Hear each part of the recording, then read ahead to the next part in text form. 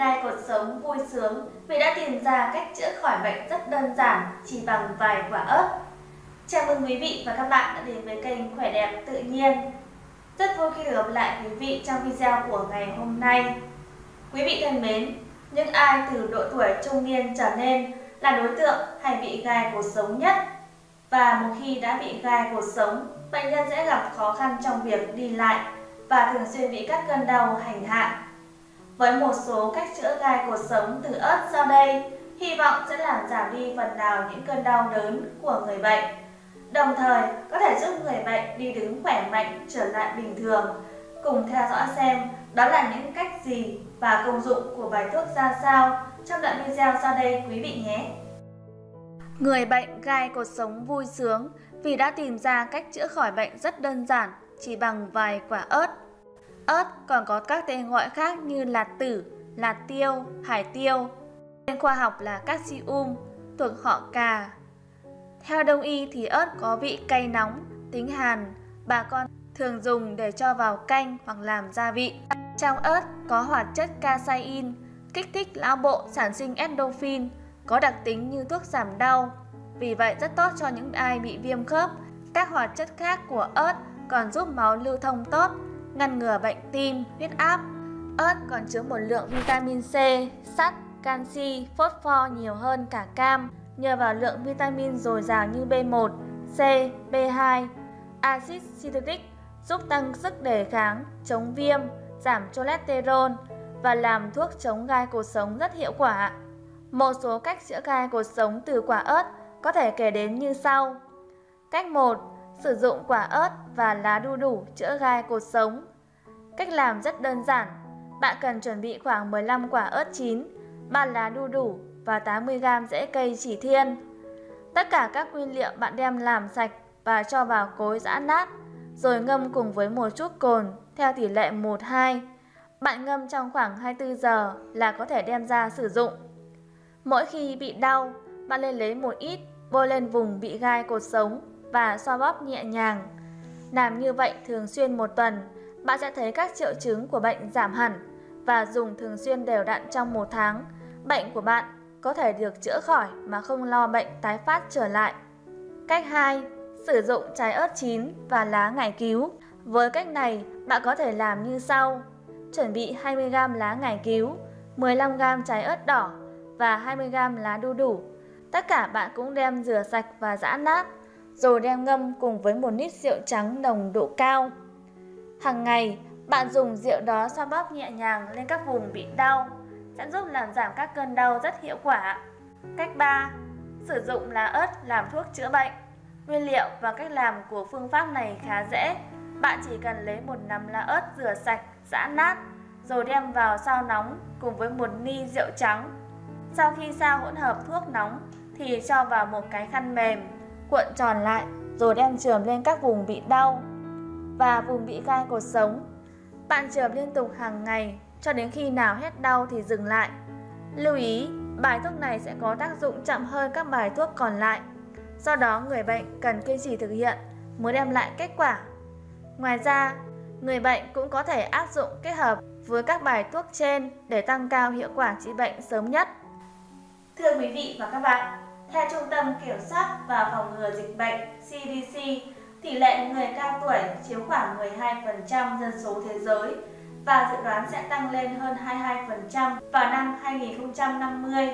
Do đó, hiểu rõ về những vấn đề về sức khỏe có thể gặp phải sẽ giúp những người cao tuổi có được biện pháp phòng ngừa các căn bệnh mãn tính cho chính bản thân mình. Thực hiện lối sống lành mạnh, bỏ hút thuốc lá và giảm cân sẽ góp phần làm tăng nguy cơ mắc phải những vấn đề sức khỏe ở người cao tuổi. Đồng thời, vận động cơ thể hợp lý và có chế độ ăn uống đầy đủ dinh dưỡng lành mạnh, cũng tăng cao khả năng phòng và chữa bệnh khi về già. Sau đây là 9 vấn đề sức khỏe xuất hiện phổ biến ở người cao tuổi mà quý vị nên chú ý theo dõi định kỳ. Mời quý vị cùng tham khảo. 9 vấn đề sức khỏe ở người cao tuổi, tuyệt đối không nên ngó lơ. 1. Sức khỏe tâm thần Theo Tổ chức Y tế Thế giới WHO, có hơn 15% người trên 60 tuổi bị rối loạn tâm thần. Một trong những rối loạn về tâm thần xảy ra phổ biến ở người cao tuổi, đó là trầm cảm. Thật không may, loại rối loạn tâm thần này thường không được chẩn đoán và điều trị kịp thời. Ở Hoa Kỳ, hơn 18% số ca tự tử là người cao tuổi. Trầm cảm có thể là hậu quả từ những bệnh mãn tính khác, do đó quản lý tốt các bệnh ở người cao tuổi sẽ rất hữu ích. Ngoài ra thay đổi lối sống lành mạnh hơn như cải thiện điều kiện sống và nhận được hỗ trợ tinh thần từ gia đình, xã hội, bạn bè hay các hội nhóm cũng giúp điều trị trầm cảm hiệu quả. 2. Bệnh về đường hô hấp Các bệnh mãn tính ở đường hô hấp dưới như bệnh phổi tắc nghẽn mãn tính chính là nguyên nhân gây tử vong thứ ba ở những người trên 65 tuổi. Theo CDC, trong năm 2014 đã có 124.693 ca tử vong vì bệnh đường hô hấp. Trong số người cao tuổi, khoảng 10% nam giới và 13% nữ giới đang sống chung với bệnh hen suyễn. 10% nam giới và 11% nữ giới phải sống chung với viêm phế quản mãn tính hoặc khí phế thủng. Các bệnh về đường hô hấp mãn tính sẽ làm tăng những nguy cơ về sức khỏe ở người cao tuổi, khiến cơ thể dễ bị viêm phổi hay các nhiễm trùng khác. Thế nhưng nếu điều trị đúng, bạn có thể bảo vệ sức khỏe lâu dài và nâng cao chất lượng đời sống. 3. Sức khỏe răng miệng Mặc dù không được chú ý thường xuyên, nhưng sức khỏe răng miệng là một trong những vấn đề quan trọng với người cao tuổi. Có khoảng 25% người trên 65 tuổi bị mất răng tự nhiên. Hơn thế nữa, các vấn đề như sâu răng có thể khiến cho bạn khó duy trì được một chế độ ăn uống lành mạnh và gây ra nhiều vấn đề về răng miệng khác. Các vấn đề liên quan đến sức khỏe răng miệng ở người cao tuổi thường là khô miệng, bệnh về níu và ung thư miệng. Những tình trạng này có khả năng được quản lý hay ngăn ngừa bằng cách đến phòng khám nha khoa kiểm tra định kỳ. 4. Suy dinh dưỡng Suy dinh dưỡng ở những người trên 65 tuổi thường không được chẩn đoán và dẫn đến nhiều vấn đề như suy yếu hệ miễn dịch và yếu cơ. Nguyên nhân gây ra suy dinh dưỡng có khả năng xuất phát từ chứng mất trí nhớ, gây quên ăn, trầm cảm, nghiện rượu hay thu nhập hạn chế. Chỉ cần những thay đổi đơn giản trong chế độ ăn hàng ngày như tăng lượng trái cây và rau quả, giảm lượng chất béo bão hòa, muối cũng đã cải thiện được chế độ dinh dưỡng cho người cao tuổi. 5. Giảm chức năng của các giác quan các cơ quan cảm giác như thị lực và thính giác ở người cao tuổi thường bị suy giảm chức năng. Theo CDC, trong khoảng 1 trong 6 người cao tuổi bị suy giảm thị lực và 1 trong 4 người thì bị giảm thính lực. May mắn thay, các vấn đề này có thể khắc phục dễ dàng nhờ vào các thiết bị hỗ trợ như mắt kính hoặc máy trợ thính. 6. Chấn thương Bạn có biết mỗi 15 giây thì có một người cao tuổi được đưa vào phòng cấp cứu vì bị té ngã. Mỗi 29 phút lại có một người cao tuổi tử vong do ngã. Từ đó có thể thấy té ngã là nguyên nhân hàng đầu gây nên thương tích ở người cao tuổi.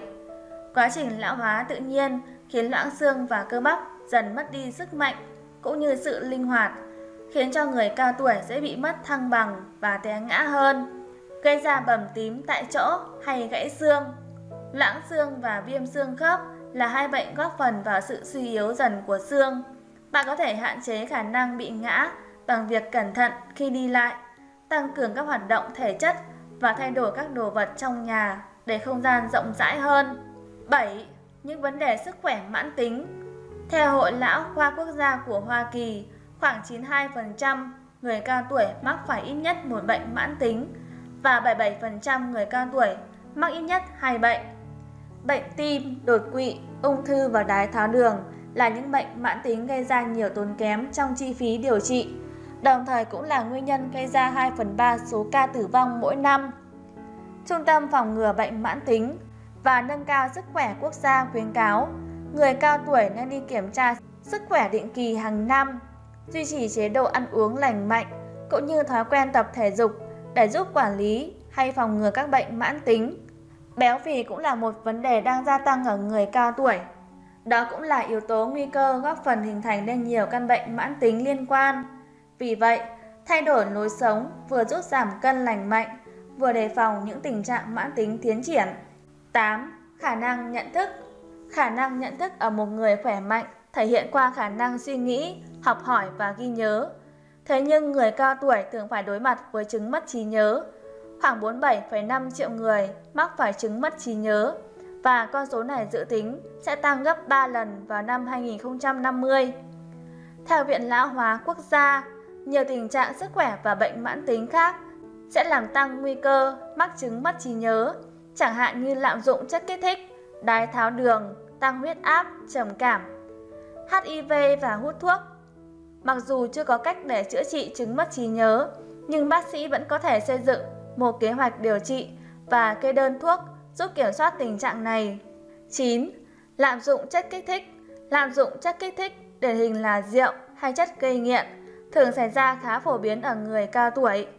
Tình trạng này là một mối lo ngại to lớn đối với sức khỏe của người cao tuổi vì chúng có thể gây ra tương tác với các thuốc theo toa.